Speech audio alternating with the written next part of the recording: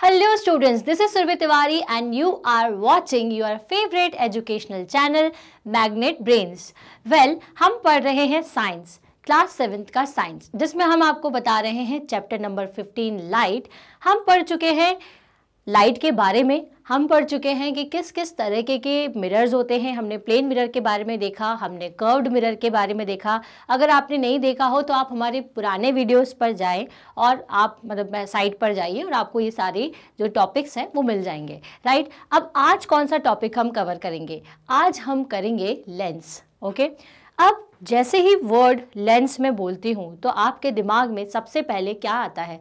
आपने खेल खेल में कई बार लेंसेज का यूज़ किया है। आपने बहुत सारी बार लेंसेज को देखा है, ठीक है? इनफैक्ट अभी आप जो देख पा रहे हैं या यहाँ पर लिखी हुई, ये जो लाइन पढ़ पा रहे हैं कि do you know how you are able to read this line ये किसकी मदद से कर पा रहे हैं? ये कर पा रहे हैं आप अपनी आँखों में लगे हुए लेंस की मदद से। जी हाँ हमारी आँखों में भी लेंसेज होते हैं। It is with the help of transparent lens in your eyes, which helps to form image on your retina. आपकी आँखों में भी lenses होते हैं, जिनकी मदद मदद से क्या होती है, एक इमेज बनती है आपके रेटिना पर और आप उसको देख पाते हैं। ठीक है? तो ये सब किसके वजह से हो रहा है? लेंस की मदद से। और आपने कहाँ देखा होगा? मैग्नीफाइंग ग्लासेस का तो यूज़ किया ही होगा। कई बार आपने खेल खेल में पेपर को जला करके देखा होगा कि आप धूप में गए, आपने पेपर रखा और उसकी मदद से क्या करते हो आप? उसकी मदद से आप कागज़ को जलाने की कोशिश करते हैं। तो आप लेंस से कई बार मिल चुके हैं, वाकिफ़ हैं आप लेंस के शब्द से। तो आज हम आपको यही बताने वाले हैं कि ये जो लेंस है, वो कितने तरीके के होते हैं और उन लेंसेज का यूज़ क्यों किया जाता है और कहाँ किया जाता है, ठीक है? So you may have seen lenses often without realising it जैसे मैंने आपको बोला कि आपने बिना ही समझे कि कौन सा लेंस कौन सा है, आपने कई जगह इसका यूज़ किया है। जैसे कि स्पेक्टिकल्स में, जो आप हमारे स्पेक्टिल्स अपन लगाते हैं स्पेक्स अपन जिसको शॉर्ट में बोलते हैं, जो आप चश्मे लगाते हैं, उसमें भी लेंसेज का यूज़ होता है, ठीक है? जैसे किसी को दूर का नहीं दिखता तो उस, अपन क्या कहते हैं कि आप जनरली कई लोग बोलते हैं कि मुझे दूर का नहीं दिखता बोलता है, मुझे पास का नहीं दिखता। तो इसकी प्रॉब्लम कौन सॉल्व कर सकता है? इसकी प्रॉब्लम सॉल्व करते हैं लेंसेज तो अभी जैसे मैंने आपको लास्ट क्लास में दो तरीके के मिरर पढ़ाए थे, एक कॉनकेव और एक कॉन्वेक्स ओके कॉनकेव मिरर हमने पढ़ा था और कॉन्वेक्स मिरर पढ़ा था, जिसमें हम दूर और पास की चीज़ों को आसानी से देख सकते हैं। तो जी हाँ उसी तरीके से लेंसेज भी दो तरीके के आप पढ़ोगे कॉनकेव और कॉन्वेक्स ठीक है? तो स्पेक्टिकल्स में आपके कॉन्टेक्ट लेंसेज में, जो आँखों में लोग कॉन्टेक्ट लेंस लगाते हैं ऑब्वियसली बात है कॉन्टेक्ट लेंसेज भी कई लोग फ़ैशन में लगाते हैं। कई लोगों की आँखों की जो थोड़ी बहुत दिक्कतें रहती हैं कि कुछ हमें दिखाई नहीं दे रहा पास का या दूर का तो उसके लिए भी कॉन्टेक्ट लेंस लगाते हैं। उन सभी में लेंसेज होते हैं ओके एंड मैग्नीफाइंग ग्लासेस तो आपने देखे ही होंगे। इन सभी में लेंसेज का यूज़ होता है। तो आइए जानते हैं कि ये लेंसेज एक्चुअल में क्या हो, होता है। लेंस एक्चुअल में एक ट्रांसपेरेंट कर्व्ड सरफेस होती है, ठीक है? जैसे मिरर अगर मुझे मिरर जब हम पढ़ रहे थे तो जब भी मैं आपको डायग्राम बना करके बता रही थी तो वो किस तरीके का था कि अगर हम कौन वैक्स की बात करें तो पीछे की तरफ़ इसमें, इसकी जो सरफेस है वो पेंटेड होती थी और कॉन केव के केस में क्या होता था? ये वाली सरफेस इसकी पेंटेड रहती थी, ठीक? लेकिन अब हम किसकी बात कर रहे हैं? लेंस की बात कर रहे हैं। तो लेंस कैसा होगा? Lens is a transparent curved surface ठीक है? Lens is a transparent curved surface made up of high quality glass और ट्रांसपेरेंट प्लास्टिक ठीक है? ये जो लेंसेज होते हैं, वो या तो ग्लास की मदद से या फिर हम प्लास्टिक की मदद से बनाते हैं। Like curved mirrors lenses are also of two types curved mirror की तरह जो आपके लेंस होते हैं, वो भी दो तरीके के होते हैं, जैसा मैं अभी आपको बता रही थी। Convex mirrors convex lens it is thicker in the middle and thinner on the edges जो कॉन्वेक्स लेंस है, वो किस तरीके के बनते होंगे? कॉन्वेक्स लेंस जो होते हैं, वो बीच में जो रहते हैं, वो काफ़ी मोटे रहते हैं और जो उनकी एजेस होती होगी, वो कैसी होती है? थिनर एजेस मतलब ये जो इस हिस्सा है, ठीक है? ये कॉन्वेक्स मिरर की बात करें हाउ अ कॉन ये जो इसकी एजेस हैं, वो पतली रहती हैं और जो इसका मिडिल पोर्शन रहता है, वो थोड़ा सा थिक होता है ओके एंड इट कॉनकेव में क्या होता है? वो बीच में से पतला थिनर होगा और उसकी एजेस थिकर होंगी। ये दोनों पॉइंट आपको बहुत अच्छे से याद रखना है। ठीक है? कि लेंसेज जो हैं वो दो तरीके के होते हैं। एक होगा आपका कॉन्वेक्स जिसका बीच का पोर्शन काफ़ी थिकर होता है और बाहरी पोर्शन जो उसकी एजेस होती हैं, वो थिनर होती हैं। कॉनकेव की मैं बात करूँ? तो उसमें अगर आप लेंस बना रहे हैं कॉनकेव तो बीच का पोर्शन थिनर और एजेस कैसी होती हैं? एजेस होती हैं उसकी थोड़ी सी मोटी या फिर थिकर ओके तो चलिए जानते हैं कि कॉनकेव कॉन्वेक्स जो आपका लेंस है वो क्या होता है ठीक? सो कॉन्वेक्स मिरर को आप जैसे देख रहे हो क्या दिख रहा है आपको? कि जब भी कोई लाइट रेस पे पड़ रही है तो वो एक फोकल पॉइंट पर जाकर के मीट कर रही हैं मिल रही हैं और इस तरह से डिस्पर्स हो जा रही हैं। ये क्या कॉन्सेप्ट है? ये क्या डायग्राम है? इसको चलिए थोड़ा और आगे चल के मैं आपको समझाती हूँ। वेल well, अब आपको जो एक दो शब्द हैं, ठीक है, याद रखने हैं, वो है आपका एक तो ऑप्टिकल सेंटर और प्रिंसिपल लाइन ठीक है? अब ये जो सारी चीज़ें हैं ना, ये ऑप्टिकल सेंटर या प्रिंसिपल लाइन इनसे रिलेटेड और ज़्यादा थ्योरी पार्ट या और ज़्यादा इनसे रिलेटेड जो एप्लीकेशन है या जो इसका, इसको समझना है आपको, वो थोड़ी आगे वाले हम क्लास में समझेंगे। लेकिन अभी आपके लिए ज़रूरी है कि आप इन दोनों शब्दों को, एक तो आपका ऑप्टिकल सेंटर ठीक है, और प्रिंसिपल लाइन ये क्या होती है, इसको समझ लें। ठीक है? मान लीजिए कि मैंने इस तरीके के दो ग्लास लिए, या लेंस का बात कर रहे हैं तो इस तरह से अपन ने दो लेंसेज लिए। या ग्लास की ही अपन बात करते हैं, ठीक है? Spherical okay? अब मैंने क्या किया? इन दोनों को मिला दिया, ठीक है? तो जब ये दोनों मिल जाएँगे ना, इस तरह से, ठीक है? तो इनका जो बीच वाला पोर्शन आपको बनता हुआ दिखेगा, ठीक है? एक ये बना और एक ये। ये कहलाएगा आपका कौन सा पोर्शन? ये कहलाएगा आपका कौन? Vex mirror. ठीक है? अब अगर मैंने इनको थोड़ा सा दूर कर दिया तो ये जो बन रहा है, ठीक है? ये बनता है आपका कॉन? केव मिरर। ठीक है?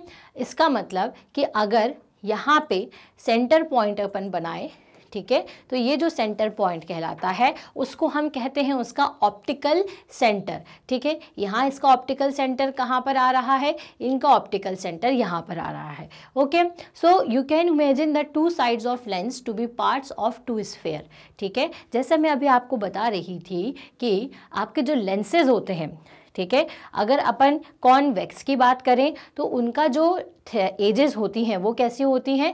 थिनर होती हैं और मिडिल पोर्शन कैसा होता है? थिक होता है।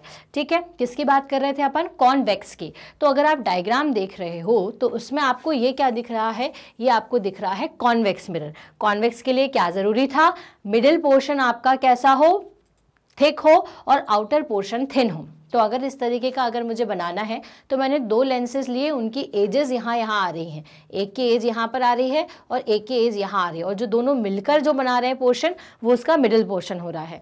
ठीक है? तो ये पोर्शन उसका थिकर होगा और एजेस आपकी कैसी होंगी? पतली होंगी।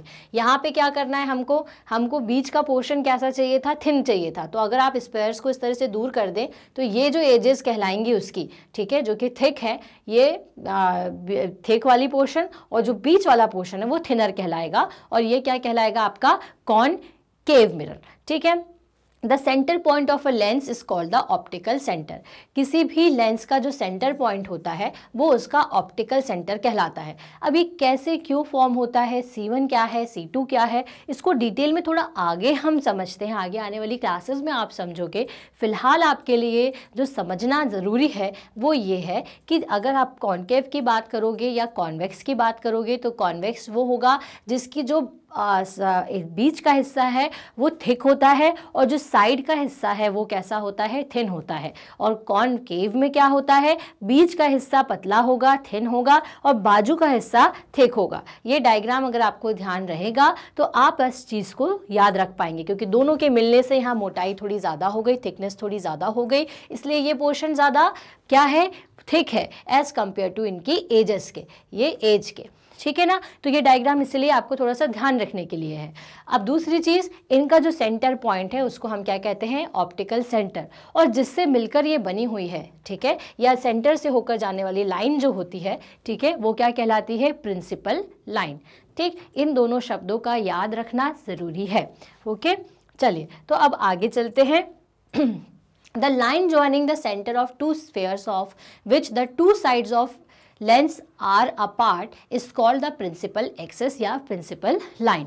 जैसा मैं आपको बता रही थी, जो दो लाइन उन दो स्फेयर को बन मिला रही हैं, जिसकी मदद से ये जो आपका लेंस है वो बन रहा है, उसको हम क्या कहते हैं? उसे हम कहते हैं प्रिंसिपल एक्सिस वो दो स्पेयर्स उनके बीच का जो पॉइंट है, वो पॉइंट उन दोनों बीच के पॉइंट को जिस एक्सिस से हम मिलाते हैं, उसको प्रिंसिपल एक्सिस कहते हैं.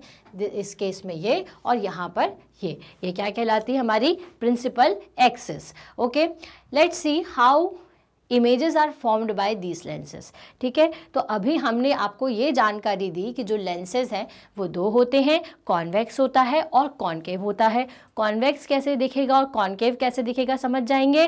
कॉन्वेक्स मतलब बीच में मोटा बाजू बाजू से पतला। कॉन्केव मतलब बीच में पतला और साइड एजेस उसकी थिन रहेंगी, पतली रहेंगी। ठीक है? सॉरी थिनर में उसका पतला और आजू बाजू कैसा रहेगा? थोड़ा सा गहरा, मोटा रहेगा। ठीक है? सो so, अब देखते हैं कॉन्वेक्स लेंस के बारे में। तो कॉन्वेक्स लेंस को हम क्या कहते हैं? कॉन्वर्जिंग लेंस कहते हैं। ठीक है? कॉन्वेक्स लेंस क्या कहलाता है? अब आप इसको मिरर के साथ बिल्कुल भी इमेजिन मत करिए, क्योंकि थोड़ा अपोजिट वर्क हो जाता है लेंस के केस में और मिरर के केस में, ठीक है? आप ये समझे कि कॉन्वेक्स लेंस हम एक अलग ही चीज़ पढ़ रहे हैं ओके लेंस क्योंकि अलग ही है मिरर अलग चीज़ है। So okay so convex lens is called the converging lens अब कन्वर्जिंग मतलब मैंने आपको पहले भी समझाया था जब आपको मिरर में बता रही थी, ठीक है? कि जब बहुत कोई चीज़ लाइट सेपरेटेड हो और जाकर के एक पॉइंट पर मिल जाए तो कॉन्वेक्स लेंस जो है यहाँ पर, वो क्या होता है? वो होता है कन्वर्जिंग लेंस, ठीक है? The parallel rays of light falling on convex lens converge at a point on the other side of the lens अब ऑब्वियस सी बात है लेंस है, जिसका दोनों साइड क्या है? कलर्ड नहीं है, ठीक है? मतलब ट्रांसपेरेंट है। तो जब एक साइड से लाइट रे इस पर जाकर के पड़ती हैं तो क्या होता है? जब एक साइड से जाकर के ऐसे लेंसेज पर लाइट पड़ती है तो ये लाइट को क्या करता है? उन लाइट्स को क्या करेगा? दूसरे साइड पर जाकर के एक पॉइंट पे जाकर के फोकस कर देगा। इसलिए उस पॉइंट को आप फोकल पॉइंट कहते हो, ठीक है? कॉन्वेक्स लेंसेज को कन्वर्जिंग कहते हैं। कन्वर्जिंग का मतलब क्या होता है? कोई फैली हुई अगर रेज है, उन्हें कॉन्सेंट्रेट करके अगर अपन एक पॉइंट पर ला करके इंसिडेंट कर दें तो वो कॉन्वर्जिंग कहलाता है। और कॉन्वेक्स लेंस यही करता है। क्या करता है? इस तरीके के लेंस पे जब लाइट रे जा कर के मिलती है तो ये उसे मर्ज करके एक पॉइंट पर लेकर के आ जाता है। ठीक है?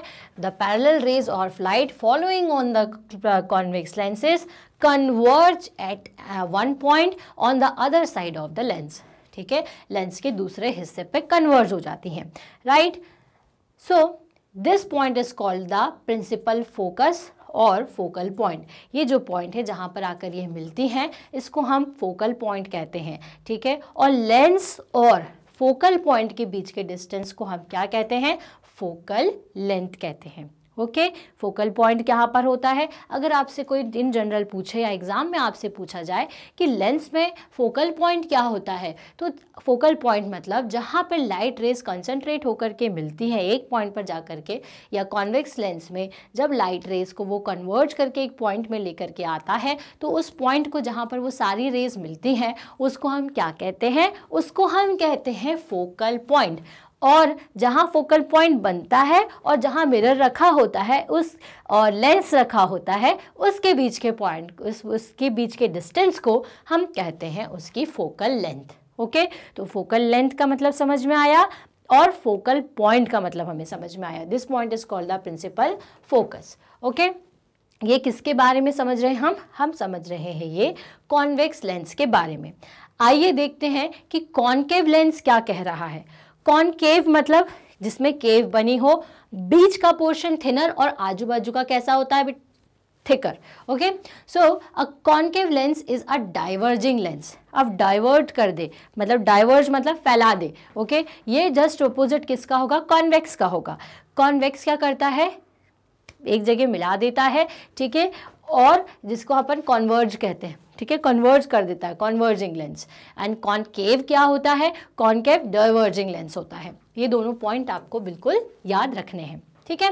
तो ray of light following on concave lens are bent away from its principal axis principal axis क्या होती है? फोकल लेंथ से फोकल पॉइंट से जाने वाली मतलब उसका जो सेंटर पॉइंट होता है, उससे जाने वाली जो एक्सेस है, ये जो ब्लू वाली आपको दिख रही है, ठीक है? ये क्या कहलाती है अपनी? प्रिंसिपल एक्सेस ठीक है?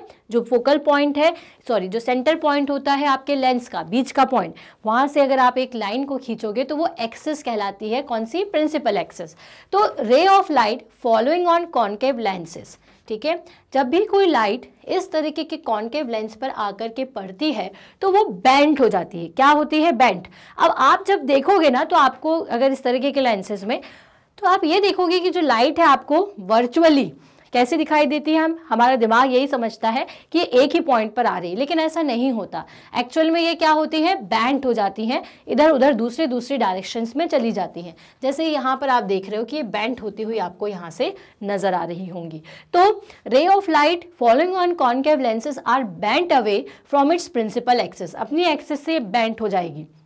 If you look through the lens these ray will appear to converge at one point अगर आप इस तरीके के लेंसेज से देखोगे तो आपको, जैसा मैंने बताया कि आपको क्या लगेगा कि एक ही पॉइंट पर आ रही है।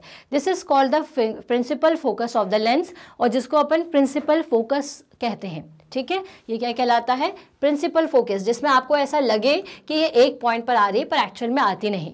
As a result of this the image is formed on the same side as the object and it is virtual erect and diminished okay so as इसके साथ क्या होता है कि जो भी इमेज इसमें फॉर्म्ड होती है, या जो भी इमेज इस तरीके के लेंस से बनती है, वो सेम साइड पर ही बनती है।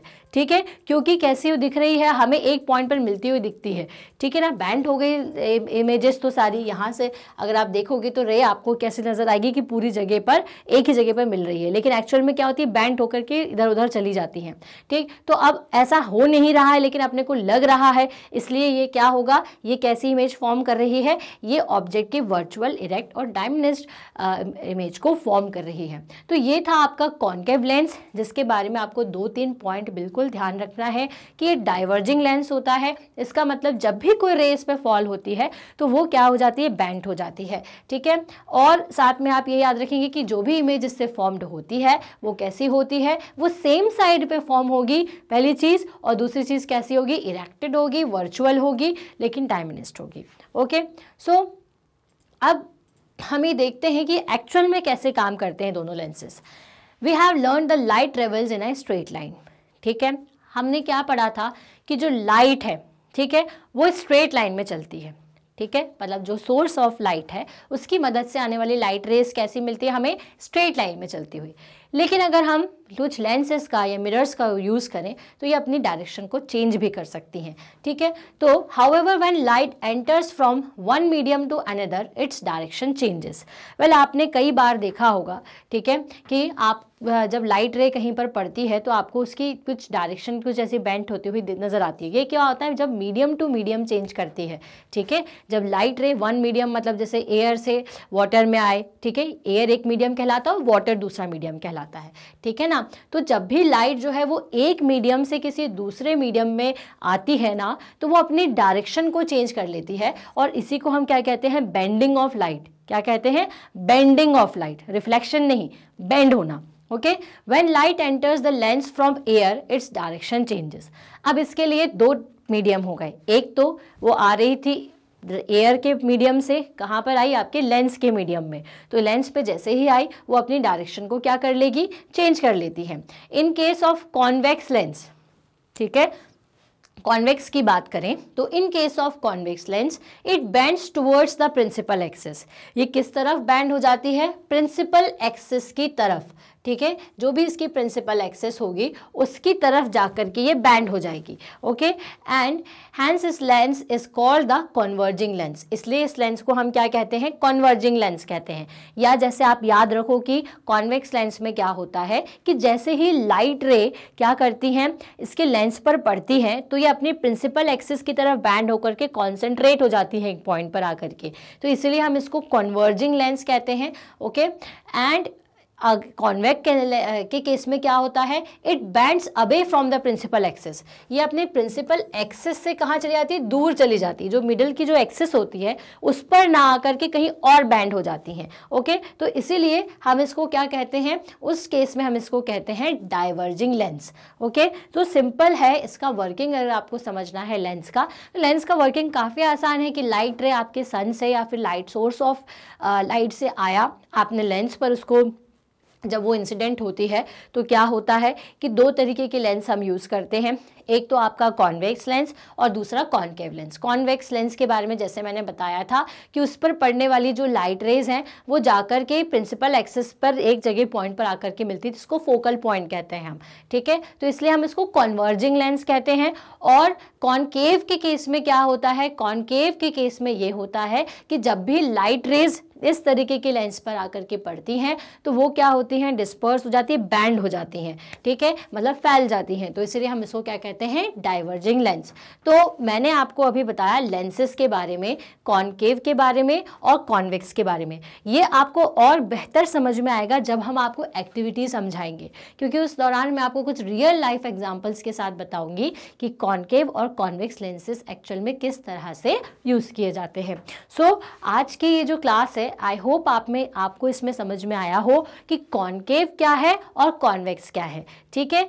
तो चलिए नेक्स्ट क्लास में हम कुछ और टॉपिक को कवर करेंगे। हम प्रिज्म के कॉन्सेप्ट को समझेंगे कि कैसे जो लाइट है उसमें सेवन कलर्स हमें या कुछ कलर्स दिखाई देना शुरू हो जाते हैं ओके सो so, मिलते हैं हम हमारी नेक्स्ट क्लास में। टिल देन आपको हमारी ऑफिशियल वेबसाइट पर जाना है www.magnetbrains.com पर। जैसे ही आप उसको क्लिक करेंगे, आपको एक स्क्रीन ओपन हो जाएगी जिसमें आप क्लास सेलेक्ट करें। आप जिस भी क्लास के हैं, वहाँ के, जैसे ही आप उसको सिलेक्ट करते हैं, आपको सभी सब्जेक्ट्स के वीडियोज़ दिखना शुरू हो जाएँगे। उसमें आपको जो भी सब्जेक्ट पढ़ना है, उस पर आप क्लिक करिए। जो विंडो ओपन होगी, उसमें आप देखेंगे कि नीचे आपको कई चैप्टर्स वाइज टॉपिक्स नज़र आएँगे। आपको जो भी टॉपिक पढ़ना है आप उसको क्लिक करिए तो आपको एक वीडियो लेक्चर दिख जाएगा। उस वीडियो लेक्चर को आप देखें अगर आपको पसंद आ रहा है तो आप उसे लाइक करें शेयर करें सब्सक्राइब करें। वेल well, हमारी ऑफिशियल वेबसाइट को आप हम अपने दोस्तों के साथ भी शेयर करें क्योंकि हमारे पास किंडर गार्डन से लेकर के क्लास ट्वेल्थ तक के सभी क्लासेस के वीडियोज़ अवेलेबल हैं। Okay okay? तो चलिए मिलते हैं हम अगली क्लास में। Till then stay happy Stay healthy and thank you so much.